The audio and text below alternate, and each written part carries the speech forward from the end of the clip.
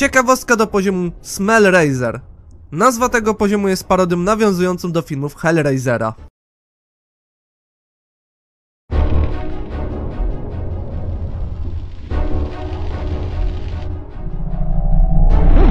So this is Never Never Land. You'd never guess it from the outside. Tak, zaczynamy sobie z dosyć mroczną muzyczką, która nam tutaj towarzyszy. Jest to mój ulubiony soundtrack, jeżeli chodzi o Gexa dwójeczkę. Aczkolwiek nie będę tego ukrywał, że momentami, jak sobie kiedyś grałem przy zgaszonym telewizorze, to ten świat, jaki ten soundtrack potrafił spowodować, że miałem ciary na plecach, no nie? No i teraz wam pokazałem troszeczkę krótszą drogę, jeżeli chodzi o dostanie się do tych drzwi. I nasza misja wygląda tak, że musimy dostać się na sam koniec poziomu, żeby zdobyć czerwony pilot. To jest pierwsza misja, a zostały jeszcze dwie misje. A więc jedna z misji to będzie zniszczenie właśnie tych oto baniaków z krwią, która ma przy okazji gałki oczne. Będziemy musieli ich bodajże 5 zniszczyć. Oraz będziemy musieli dostać się do innej części poziomu, gdzie tam również będzie na nas czekał czerwony pilot oraz srebrny pilot, który jest w ciekawy sposób ukryty i ja wam pokażę gdzie on nawet jest. Tutaj mamy power up z ognisty w zasadzie, dzięki czemu Gex będzie mógł zionąć ogniem, ale to nie będzie takie zionięcie ogniem jak było w pierwszej części, bo na przykład kiedy wciśniemy sobie kwadrat, to robimy coś takiego. I możemy właśnie w ten oto sposób pozbyć się przeciwników, no nie? It's tail time. 60 żyć, a my dopiero co drugi poziom robimy, ja pierdzielę, ale niezła patola w tym momencie. O, i przy okazji coś wam pokażę. Jak wiecie, mamy cztery paski zdrowia, raczej cztery łapki zdrowia, jeżeli chodzi o Gexa, no nie? Kiedy stracimy jeden punkt zdrowia, no to zostają nam trzy punkty, no nie? I wtedy tracimy życie. Ale kiedy będziemy sobie trzymali ten, tego zielonego komara i dostaniemy obrażenie, to wtedy te cztery łapki jak są w stanie nienaruszonym, tak pozostaną w stanie nienaruszonym. Tylko tego komara stracimy, no nie? I to jest bardzo rekomendowane przeze mnie, byście tak robili, no nie? Bo niepotrzebnie wtedy się traci punkty zdrowia, raczej łapki zdrowia.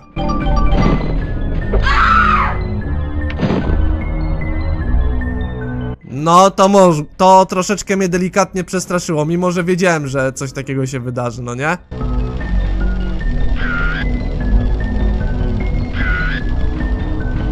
Tak, Gex sobie przy okazji poczytał, co tutaj było napisane. A mianowicie tutaj coś było odnośnie światła. I... Nie, nic bardziej mylnego. Tutaj na dole mamy czerwone światełko, gdzie mamy ducha i mamy ducha jak jest zielone światełko. Tylko nie pamiętam czy... Aha, jak jest zielone światło, to on na nas nie zwraca uwagi. Jak jest czerwony, no to on leci w naszą stronę, no nie? To więc miejmy to na uwadze, okej? Dobra, tak więc teraz tak, szukamy sobie telewizorka z checkpointem, a wiem, że on tutaj jest, o dokładnie, tak? Mamy checkpointik, my nie gardzimy checkpointami, my wręcz przeciwnie, bardzo chcemy zbierać te checkpointy. Jeżeli chodzi o moje wspomnienia za dzieciaka z tym poziomem, misje tutaj nie były ciężkie. Może miałem co jedynie problem z tą misją ze znalezieniem czerwonego pilocika w tej drugiej części poziomu, bo tam faktycznie troszeczkę się nie domyślałem, gdzie on może być. Ale jeżeli chodzi odnośnie samego w sobie poziomu, to zawsze darzyłem go sympatią ze względu na soundtrack i ogólnie za sam pomysł umieś- umiejscowienia Gexa w nawiedzonym domu, ponieważ my zwiedzamy teraz nawiedzony dom dla osób niewtajemniczonych. I jest to naprawdę bardzo pomysłowe, no nie? Jeżeli chodzi o zrobienie poziomu. Aczkolwiek... em, Bałem się panicznie za dzieciaka tego poziomu, bo no ja bardzo strachliwy jestem i nawet jak dzisiaj gram w horrory, to bardzo często zdarzy mi się, kurde, wystraszyć, ale teraz to ja specjalnie ogrywam horrory, byście wy mogli się też przy okazji ze mnie pośmiać i ja, żebym mógł się sam z samego siebie na starość pośmiać. Ale no, wiecie jak to jest. Kiedyś jak byłem mały, no to panicznie się bałem i sobie poprzysiągłem, że nigdy nie będę grał w horrory, a no jak widzicie, z czasem człowiek wychodzi z niego ta hipokryzja, bo wszyscy jesteśmy hipokrytami. No i wygląda tak jak wygląda. I tu przy okazji mamy taką mini ciekawostkę, mianowicie jest dywan na ścianie umiejscowiony. Hmm, ciekawe, nie będę tego ukrywał. I teraz muzyka się wyłączyła na rzecz tego, że mamy tutaj zalany pokój, zalane pomieszczenie. Jak widzicie, jest tutaj dużo wody. Mamy unoszące się platformy oraz uszkodzone kible Jima. Kibel! Kibelson! Dlaczego żeś uszkodził swoje kibelki? Weź ty mi powiedz w tym momencie. I przy okazji tutaj jakiś mech na ścianie się zabrał. Warto byłoby zadbać o to pomieszczenie, bo za niedługo sanepid tutaj wleci na pełnej kurwie i się skończy babci sranie, jak to się mówi. Dobra, możemy opuścić to miejsce i iść dalej w takim razie.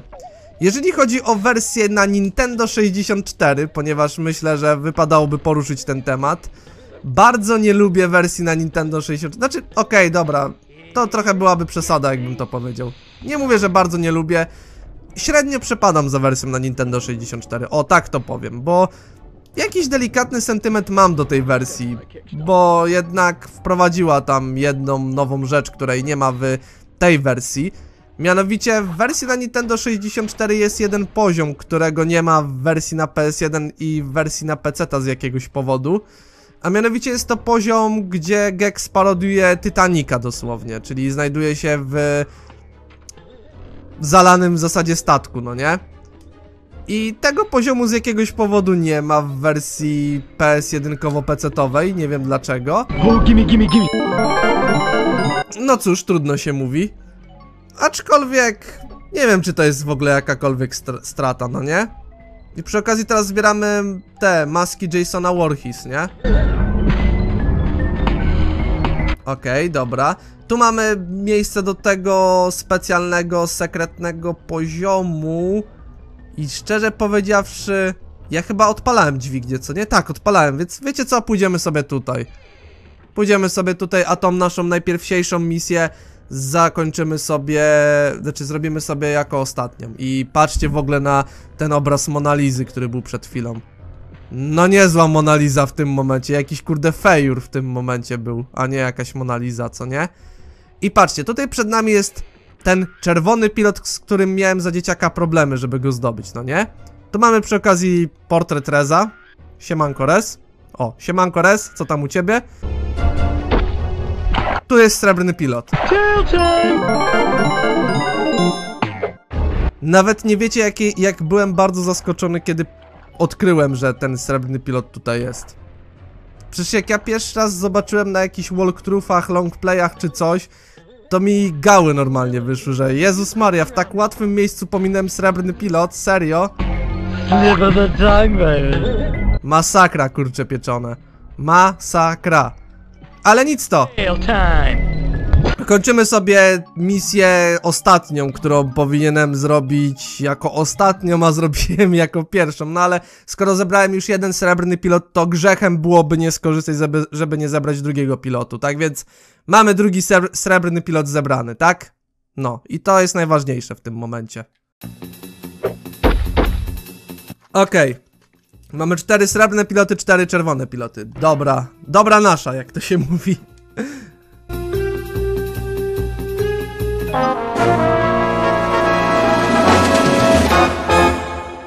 Oczywiście odblokował nam się telewizor z bonusowym poziomem, ale my go nie będziemy teraz robić, dlatego że bonusowe poziomy zostawimy sobie pod koniec gry, przed konfrontacją z ostatnim bossem.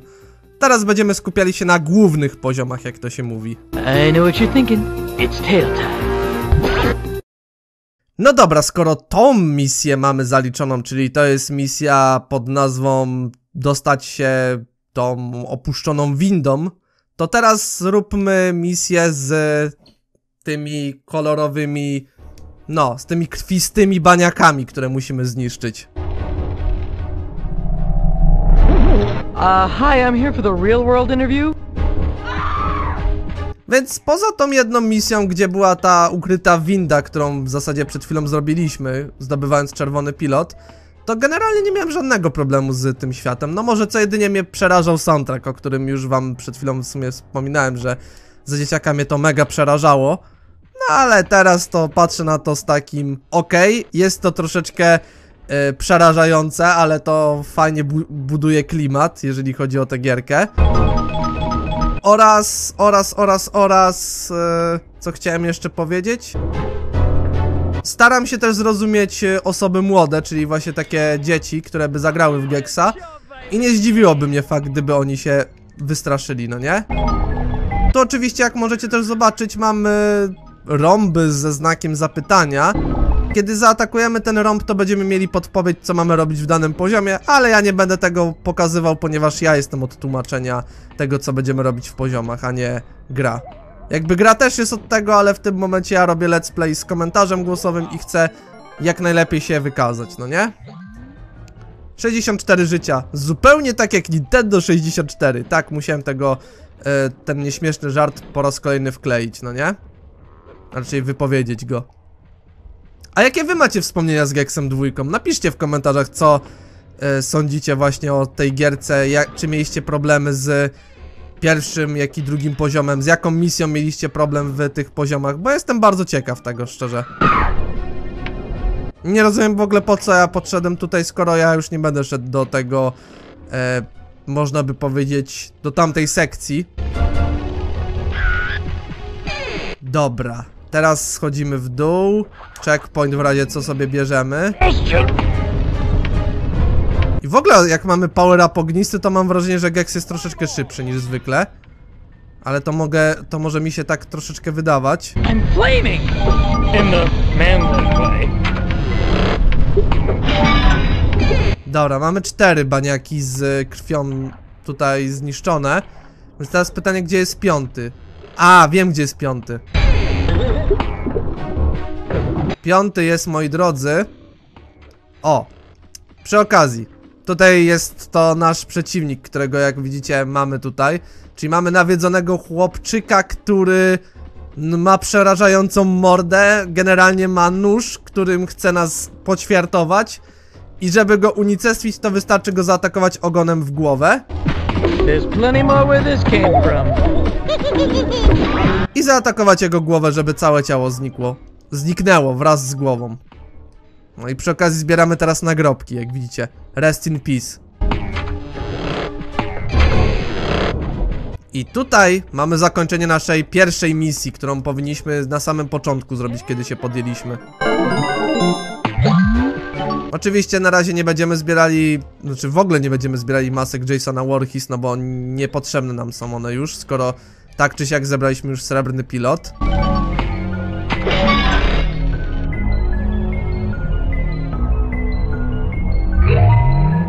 Dokładnie tak. Teraz musimy cofnąć się do tego telewizorka. Czyli wracamy sobie tutaj, a następnie będziemy musieli wracać tutaj. Dokładnie tak. Kibelson, weź w końcu napraw ten kibel. Jim, ja wszystko naprawdę jestem w stanie zrozumieć, ale czy mógłbyś naprawić ten, tą toaletę? Bardzo cię proszę. No kurwa mać, Jim, proszę cię, napraw tę toaletę. No co ty sobie wyobrażasz w ogóle? Dlaczego tak? Dlaczego kurde zostawiasz tak zepsutą, zepsuty kibel tutaj? Weź, wstydziłbyś się w ogóle, gościu. No. I mamy teraz misję zrobioną. To już jest nasza druga misja. Ukończyliśmy sobie ją pomyślnie. I teraz zostaje nam tylko jedna misja i możemy stoczyć walkę z naszym bossem. Zapisujemy sobie oczywiście, że tak. Czemu by nie?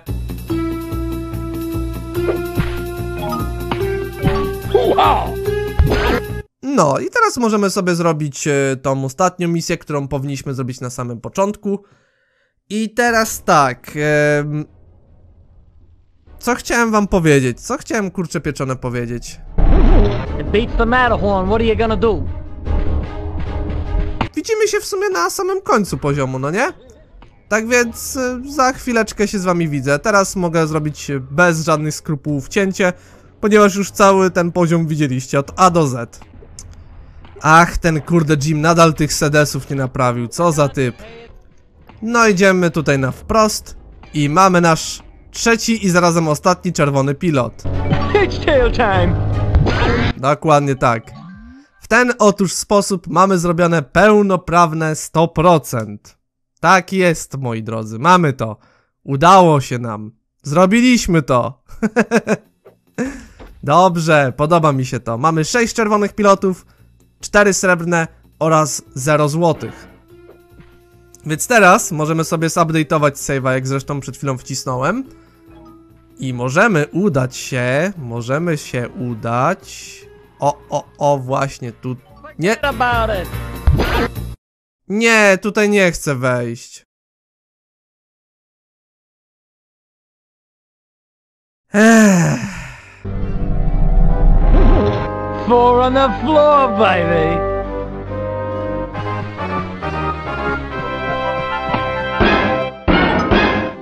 No, tak więc przypadkiem żeśmy weszli i w sumie wyszli, więc teraz czas na konfrontację z naszym pierwszym bossem, Gilligex Isle.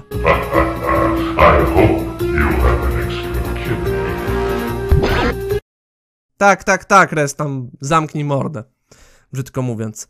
Więc, żeby pokonać Tiki Bros albo Tiki Brothers, wystarczy odbie- odbijać niebieskie firebole.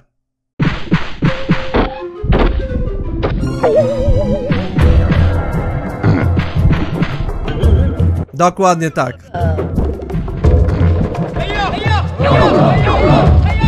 Hejo, hejo, hejo, hejo. Bardzo lubię tych bossów, powiem wam szczerze.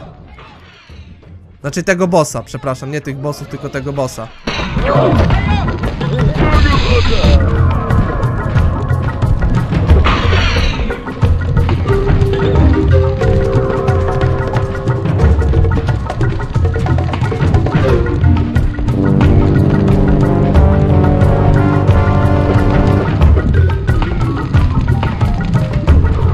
Ogólnie soundtrack w tym poziomie jest mega fajny, ale niestety coś trafić nie mogę, kurde, tego ostatniego przygłupa.